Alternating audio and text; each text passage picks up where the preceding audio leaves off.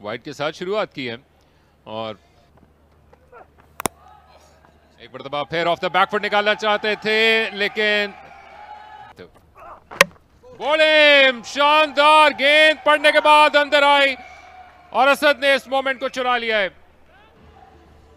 Length सबसे की है। अखिल, इसी लेंथ की हम बात कर रहे थे। इस होल्ड अप किया अपनी लाइन को। बहुत सीधा रहा है। और इसी लाइन की हम बार बार बात कर रहे हैं। इसी लेंथ की बार बार बात कर रहे हैं। यहाँ पे अच्छा हुआ कि असद ने बहुत जल्दी उस लाइन और लेंथ को परख लिया। ऑफ़ के बहुत बाहर गेंद कर दी और आउट हो जाएँगे।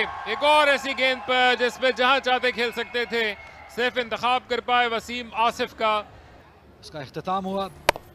नीचे लगाया बॉल फिर बॉल नीचे थोड़ा लो रहा है एज पर द लेंथ इसी वजह से वो जो एलिवेशन है वो हासिल नहीं कर सके। वसीम को वापस जाना होगा छह रन बनाकर। There. Played uh, Bawalpur. He was a captain. Oh, no, no, no, no, no, no, no, no, no, no. Fakhr Zaman couldn't get into that top gear. Look at that. Again, it's gone high in the air. Mid-on will be the man they'll be looking at. Gone.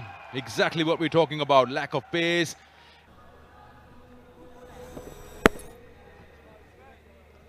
You see the ball not coming onto the bat again, through with a shot.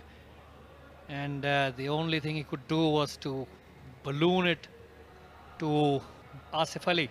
Abdul Hadi goes for six. It's 20 for three.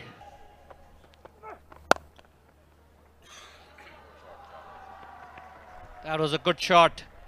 Muinuddin just in, times it beautifully. Full toss slipped out of his hand, probably. That's a good hit. The minute it went onto the bat, you could know that it's going all the way. बड़ा turn मिला है, लेकिन H जिसकी तवक्को कर रहे थे, सदाकत वो तो नहीं हासिल हो सकेगा। पार्टनरशिप में चाहिए होगी। वो मैटर करेगी। रन हासिल होंगे और गैप में निकालने में कामयाब हो गए। अच्छी हिट गैप में खेले। विद द टर्न चार रन हासिल। ये अच्छी शॉट थी। थोड़ा सा मोमेंटम मोइन की इनिंग में नज़र आता हुआ। ये देखिए बैकफुट पे रहे। लेंथ को जल्दी पिक किया उन्होंने और पूरा फ़ायदा उठाया। कदमों का इस्तेमाल किया है और दायरे के ऊपर से खेलने में कामयाब रहे हैं। बड़ा चेज होगा वहाँ पर फील्डर के लिए, जब तक पहुँच पाएँगे। फिर कदमों का इस्तेमाल और फिर बड़ा चेस लेकिन नहीं पहुँच पाएँगे इस मरतबा कैप में खेले चार रन के लिए। बट स्टिल देखिए, बहुत ही अच्छा स्ट्रोक है मिडल हुआ है पूरा। और फैजान ने इस बॉल को पेस के साथ किया था। पिछला बॉल जो था, वो शायद चेंज ऑफ़ पेस था, जिसकी वजह से टाइमिंग नहीं थी। लेकिन इस बार फॉर्मेट के अंदर स्टेज है तो वो नेशनल टी ट्वेंटी कप है। और यहाँ पर बोल्ड हुए एक बॉल जिसको बहुत ज़ोरदार हिट लगाना चाहते थे, लेकिन बिल्कुल स्लो वन था और बोल्ड हुए, बिल्कुल कनेक्ट ना कर सके। बॉल नीचे भी रह रही है, ऐसे में शॉट ओवर एम्बिशियस था ये वाला। शानदार टर्न भी हासिल हुआ, जो कि पढ़ने के बाद स्टम्प्स की लाइन में आई और मुकम्मल तौर पर बीट हो चुके थे। कोई दूसरी लाइन ऑफ डिफेंस नहीं थी कश्तियां जला दी थी फैजान ने तो पार्टनरशिप बनी लेकिन पनपने से पहले टूट गई 18 बना के out Chance. Direct hit. Chance. Going upstairs once again. You just looked that the batter is struggling here.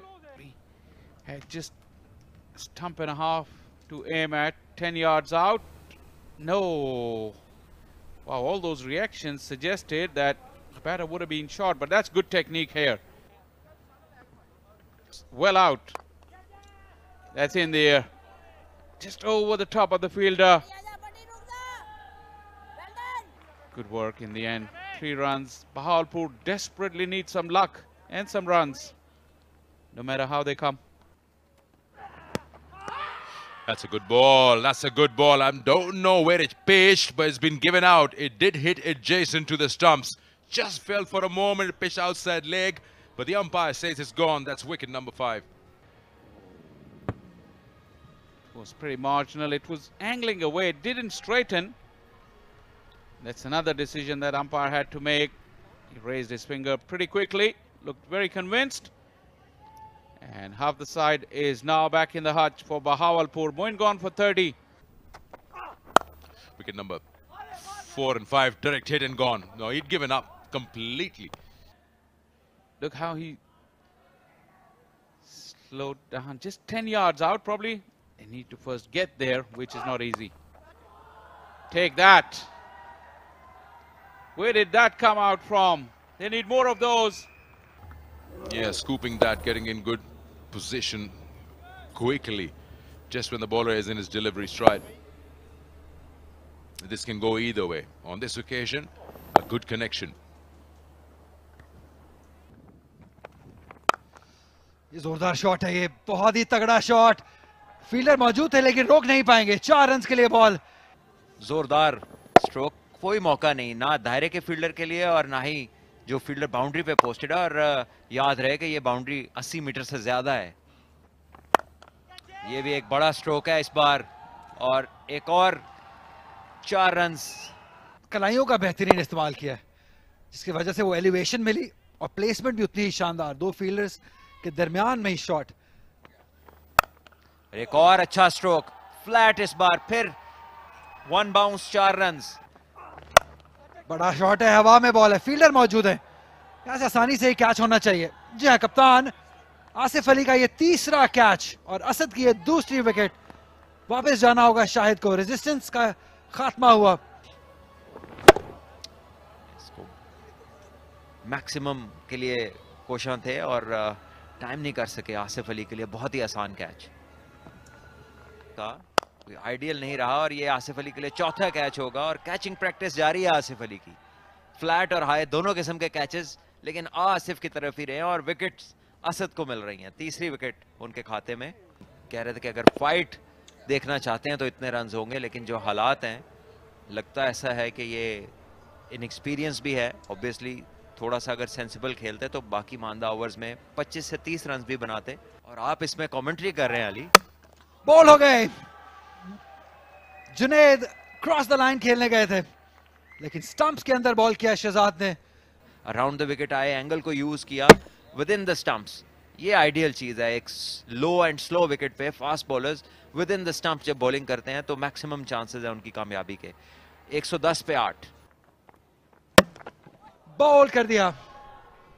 ये ऑन द कार्ड्स था क्योंकि इतना जब आप एक स्टंप्स फास्ट बॉलर को दिखा देंगे तो वो मिस आउट नहीं करेगा। अदील का इनएक्सपीरियंस यहाँ पे दिखते हुए। और बहुत ज़्यादा एग्जैचुरेटेड रूम दे दिया अपने आप को।